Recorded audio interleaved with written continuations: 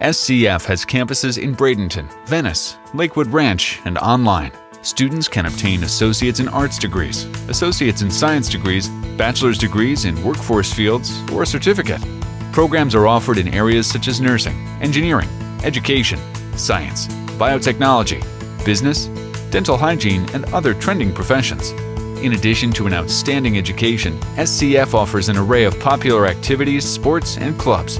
If you're interested in film, music, theater, dance, athletics, art, or writing, SCF has it all.